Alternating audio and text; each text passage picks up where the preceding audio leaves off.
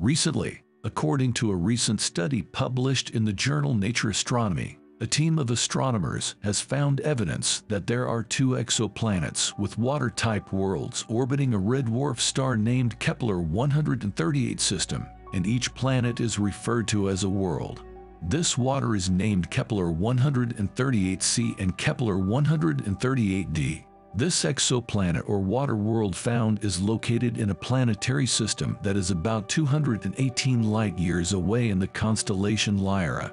The discovery of these two planets in the Kepler-138 system is not new because astronomers have discovered this system for a long time.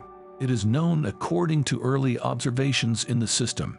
Kepler-138 is known to contain three planets including the water world, but for this initial discussion, I will first discuss the water world in the Kepler-138 system. In this discovery, astronomers observed the two exoplanets of the Kepler-138 system using the Hubble Space Telescope and the Spitzer Telescope. From that observation, the team of astronomers later found that two exoplanets are about one and a half times the size of Earth and are mostly made up of water.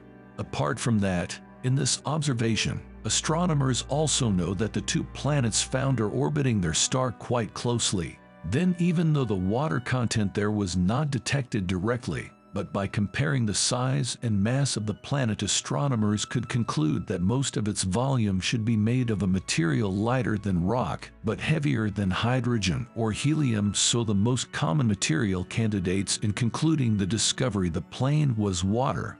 Discoveries like this are new in exoplanet research because previously a planet that was slightly larger than Earth or an enlarged version of Earth was usually classified as a super-Earth type.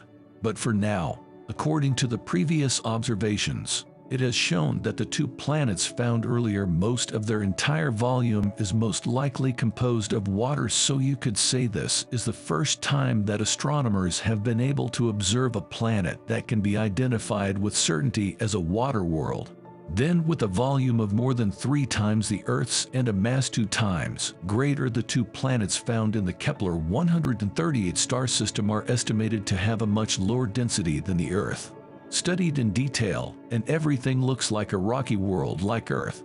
So the closest comparison to the two planets could be compared to some of the icy moons in our solar system, which also consist mostly of water surrounding a rocky core.